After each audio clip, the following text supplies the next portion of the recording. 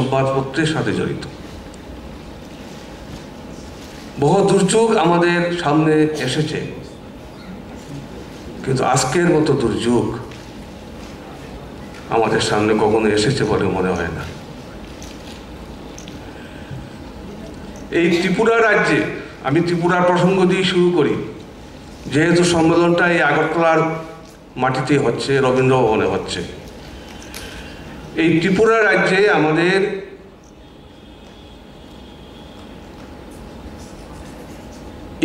ইংরেজি পত্রিকা দুটো আছে, ককবরক পত্রিকা একটি আছে, বাংলা দৈনিক ষোলোটি আছে। আমি অন্য সাপ্তাহিক এগুলি বলতেই গেলাম না। আসামের কথা যদি আমি আসি, আসাম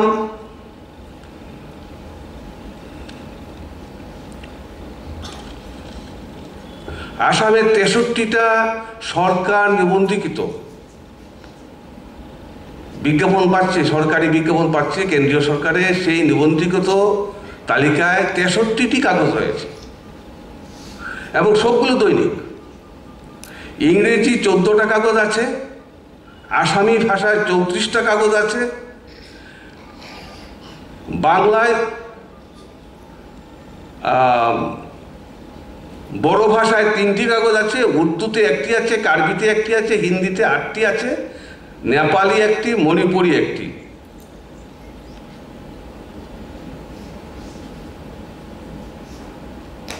মণিপুরে মাত্র ছটি দৈনিক আছে। এর মধ্যে ইংরেজি ছটি, না, মণিপুরি, মণিপুরে দশটি, এগারোটি খবর আছে, দৈনিক। এর মধ্যে ইংরেজি ছটি, মণিপুরি ভাষা চারটি, মিথিলি, মণিপুরিতে একটি ভাষা, মেঘালয়ে চারটি ভাষা, চারটি কাগজ কাগজ আছে, না, বারোটি কাগজ আছে, ইংরেজি চারটি, হিন্দি দুটি, খাসি চারটি, গারো দুটি। মিজোরামে ছটি, ইংরেজি দুটি, মিজু ভাষা চারটি। লাগান নাগাল্যান্ডে সাতটি পত্রিকা আছে, ইংরেজিতে পাঁচটি, নাগা ভাষায় দুটি। এর মোটামুটি সিকিম। সিকিমে চৌদ্দটি কাগজ আছে দৈনিক। এর মধ্যে ইংরেজি পাঁচটি, হিন্দি চারটি, নেপালি ভাষা পাঁচটি। অরুণাচল প্রদেশে আটটি কাগজ আছে, ইংরেজি সাতটি এবং হিন্দিতে একটি। বাংলা ভাষায় আসামে আসামে কথা, বাংলা ভাষা কথাটা বল- বলতে বলে যাচ্ছি বাংলা ভাষায় চোদ্দটি কাগজ আছে। তার মধ্যে অধিকাংশই বরাক উপত্যকা এই হচ্ছে আমাদের সংবাদপত্রের একটা সংক্ষিপ্ত চিত্র। সাহিত্যপত্র আমাদের উত্তর পূর্বাঞ্চলে তেমন সাহিত্যপত্রের সন্ধান পাওয়া যাচ্ছে না, খুব কম। ত্রিপুরার সাহিত্যপত্র তো হারিয়েই গেছে। আমরা ছোটবেলায় যখন কলেজে পড়তাম সাহিত্যপত্রের ছড়াছড়ি ছিল লিটল ম্যাগাজিন এবং এই লিটল ম্যাগাজিন সাহিত্যিকদের জন্ম দিত। গল্পকার, উপন্যাসিক, এরা বেরিয়ে আসতেন এই লিটল ম্যাগাজিনের মধ্য দিয়ে। বাংলা সাহিত্যের দ্বারা দিগ্গজ হয়েছেন। এখনও যারা আছেন প্রবাদ পুরুষ, তাদের তাদের জন্ম হয়েছে, তাদের লেখনী উদ্ভাসিত হয়েছে এই লিটল ম্যাগাজিন থেকে। অথচ দুর্ভাগ্যের বিষয়। লিটল ম্যাগাজিন হারিয়ে গেছে। এখন আর লিটল ম্যাগাজিন আমরা দেখি না। এটা বাংলা ভাষার বাংলা সাহিত্যের ক্ষেত্রে বড়ই দুঃসংবাদ এবং আমরা আতঙ্কিত, আমরা উদ্বিগ্ন। আমার মনে আছে, আমরা যখন স্কুলে পড়তাম আমার এখানে আমরা ওয়েবসাইটের যুগে এগোচ্ছি ইলেকট্রনিক্স মিডিয়ার যুগে এগোচ্ছি। কিন্তু আমাদের যে সংস্কৃতি, মূল সংস্কৃতি, ঐতিহ্য, যে ঐতিহ্যের হাত ধরে বাংলা সাহিত্য বিকশিত হয়েছে, যে ঐতিহ্যের হাত ধরে আমরা আজকে আজকে আমরা আমাদের পরিচয় দিচ্ছি, আমরা আজকে এখানে দাঁড়িয়ে আছি, আজকে আমরা গর্ব করি, সেই ঐতিহ্য হারিয়ে গেছে। এটা উদ্বেগে। আমরা চাই ইলেকট্রনিক্স মিডিয়া আরও বেশি বিকশিত হোক, আরও বেশি ডেভেলপ হোক। কিন্তু তার অর্থ এই নয় যে আমাদের ঐতিহ্যকে গ্রাস করবে। এটা বড়ই দুঃখে, পরিতাপে। এখন আমাদের সন্তানরা এই প্রজন্ম এই প্রজন্ম রবীন্দ্রনাথকে জানে না। এই প্রজন্ম নজরুলকে জানে না। এই প্রজন্ম শরৎচন্দ্রকে জানে না। জানে না। বঙ্কিমচন্দ্রকে জানে না। মধুসূদনকে জানে না। আমার যে নাতি, সে কিছুই জানে। পৃথিবীটাকেই ভুলে যাবে। কোথা থেকে পৃথিবী এলো? সেটা তো আমরা চাই না। সেটার জন্য তো এই বঙ্গ সাহিত্য সম্মেলন এত বড় অনুষ্ঠান করছে না? আমি অবাক হয়ে যাই। এই রাধাকান্ত সরকার, যিনি বঙ্গ সাহিত্য সম্মেলনের অপ্রাসঙ্গিক হলেও আমাকে এটা বলতে হচ্ছে। আমি অবাক হয়ে যাই ওনার কর্মযোগ্য থেকে এত বড় কর্মযোগ্য। সেই কলকাতা থেকে আগরতলা রবীন্দ্র ভবন সেখানে উনি ছুটে এসেছেন, সেখানে অনুষ্ঠান করছেন। ওনার একক প্রচেষ্টা।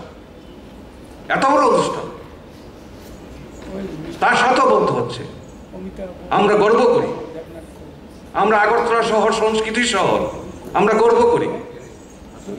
আমরা বড় করে কথা বলি যে আগরতলা আমরা সংস্কৃতিবাদ। কিন্তু কোথায়? কোথায় সেই দৃশ্যমানতা? উপস্থিতি হার থেকে আমরা হতাশ হই। এই হচ্ছে আমরা বাংলা সংস্কৃতির আমরা গর্ব করি। আজকে বরাক থেকে কিন্তু আজকে আসামের অবস্থা কি? মণিপুরের অবস্থা কি? সেখানে সেখানে তো ভাষা আক্রান্ত। সেখানে ভাষা আক্রান্ত হয় আক্রান্ত। এই সেদিন ডিব্রুগড় থেকে উনি বলছিলেন, বক্তৃতা দিচ্ছিলেন যে বাংলা ভাষায় কথা বলতে ভয় হয়। সাংঘাতিক কথা। আমরা ভারতবর্ষের নাগরিক। আমরা বাংলা ভাষায় কথা বলতে পারব না। এটা নিয়ে ভাবতে হবে। এভাবে চলে যায়। না আমাদের মাতৃভাষা যে কোনো যে কোনো মাতৃভাষাকে আমরা শ্রদ্ধা করি। আমরা প্রত্যেক ভাষাকে শ্রদ্ধা করি।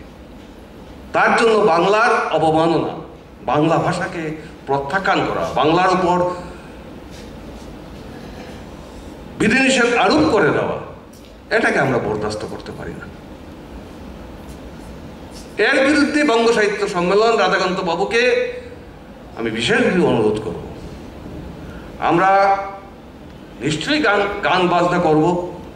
নিশ্চয়ই আমরা সঙ্গীতের সাথে সঙ্গীতের সাধনা করব। সংগীত আমরা শুনব।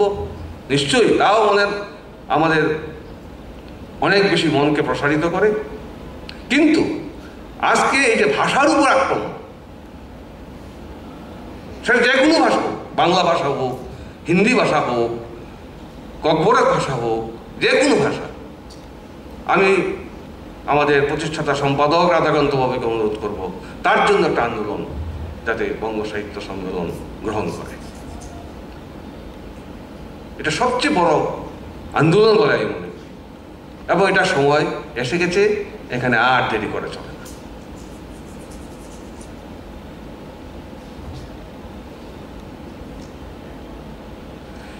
এখানে বলা হয়েছে উত্তরণের পথ। সব বিষয়ে উল্লেখ করা হয়েছে উত্তরদের পথ।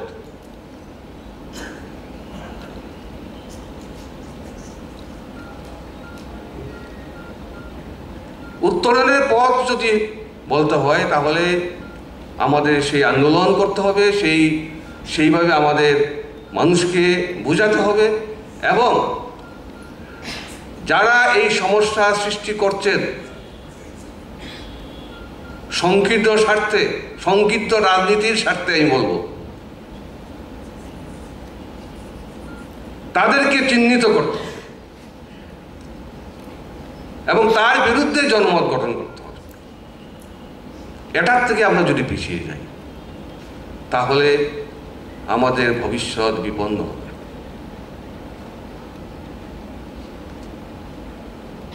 আজকে এই ত্রিপুরা রাজ্যের প্রসঙ্গে যদি আমি আসি, ছোট্ট রাজ্য, সেটা আমি ভারতবর্ষের অন্য রাজ্যের কথা নাই বললাম। এখানে আজকে বাংলা ভাষা হারিয়ে যাচ্ছে।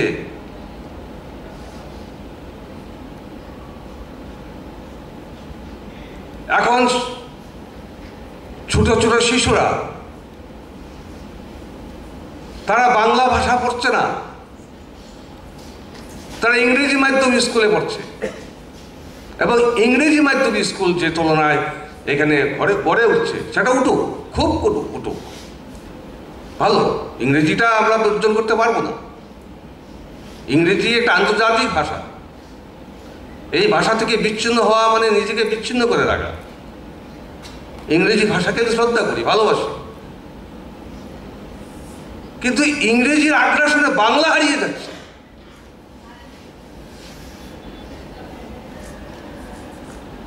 এটা আরও উদ্বেগে। বাংলা স্কুলে কেউ পাঠা ছেলে মেয়েদের পাঠাচ্ছে না। সব ইংরেজি পড়াচ্ছে। ইংরেজি হচ্ছে, বাংলা জানেই না। ঠিক আছে, ইংরেজি মাধ্যমে পড়ুক। বাংলাটা থাকুক, না, সেটাও নেই বাংলা পড়তে পারছে না। বাঙালির ছেলে, বাঙালি ঘরের ছেলে। আমার জানার মতো অনেক আছে যারা বাংলা পড়তেও পারে না, বাংলা লিখতেও পারে না। ইংরেজি। এই যে আগ্রাসন বিপজ্জনক আগ্রাসন আমাদের সামনে এসেছে। বাংলা ভাষাকে বাঁচানো, তার যে ইতিহাস, ঐতিহ্য, মানুষের মধ্যে তার যে প্রসারতা, সেটাকে ধরে রাখা যাচ্ছে না। হারিয়ে যাচ্ছে। ত্রিপুরার রাজ্য ভাষা বাংলা ত্রিপুরার রাজ্য ভাষা ইংরেজি ত্রিপুরার রাজ্য ভাষা বকবর একটা অফিসে বাংলা ভাষার কোনো কাজ চলে না। অথচ সরকারিভাবে বাংলা ভাষা, ত্রিপুরা রাজ্য ভাষা ককবর বাংলা, আমাদের এই বাঙালি অধ্যুষিত এলাকা, যেখানে ত্রিপুরাতে সংখ্যাগরিষ্ঠ অংশের মানুষ বাঙালি। সেখানে বাঙালি, বাংলা উপেক্ষিত। প্রচন্ডভাবে উপেক্ষিত। এটা তো চলতে পারে না। এখানে বঙ্গ সাহিত্য সম্মেলনকে এগিয়ে আসতে হবে। এই প্ল্যাটফর্মে আসতে হবে। এবং আমি বলব, বঙ্গ সাহিত্য সম্মেলনের এটা হবে সবচেয়ে বড় কাজ। আজকে এখানে যে অনুষ্ঠানটা হয়েছে, আমি জানি না আপনারা দ্বারা এখানে উপস্থিত আছেন তারা সবগুলো অনুষ্ঠান দেখার সুযোগ পেয়েছেন বা দেখতে পেরেছেন কিনা। অপূর্ব সব অনুষ্ঠান হয়েছে। সংগীত, এত সব সংগীত, কিন্তু আজকে যে বঙ্গ সাহিত্য সংস্কৃতি সম্মেলন সাহিত্য সম্মেলন। সাহিত্যের জন্য কতটা সময় বরাদ্দ হয়েছে? এখানে সাহিত্য আলোচনা, কবিতা পাঠ বা সাহিত্য বিষয়ক আলোচনার অন্যান্য প্রসঙ্গ কতটা সময় বরাদ্দ করা হয়েছে? সঙ্গীতের জন্য কতটা সময় বরাদ্দ করা হয়েছে? আলোচনার, সাহিত্য আলোচনা, সাহিত্য সম্পর্কিত বিষয় নিয়ে উদ্যোক্তারা যা বঙ্গ সাহিত্য সম্মেলনে যারা আছেন, তারা সেই সময়টুকু দিতে পারছেন না। পারছেন না কেন? কারণ আমরা সাহিত্য আলোচনা উৎসাহী নই। এটা আবার সাহিত্য দিয়ে কি হবে? এই যে আমাদের উদাসীনতা, এই যে আমাদের মানসিকতা, তার জন্যই আমরা আজকে আমাদের ঐতিহ্য হারাতে বসেছি, আমাদের সংস্কৃতি হারাতে বসেছি এর বিরুদ্ধে আমাদের কোনো প্রতিবাদ, প্রতিরোধ নেই।